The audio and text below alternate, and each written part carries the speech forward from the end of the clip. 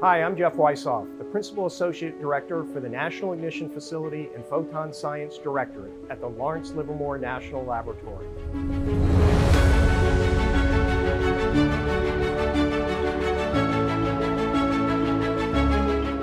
I'm excited that the laboratory's laser program is celebrating its 50th anniversary this month.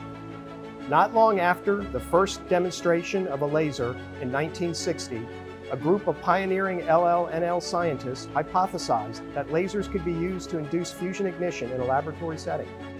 This started us on a path to lead the world in the development of large fusion lasers and associated technologies.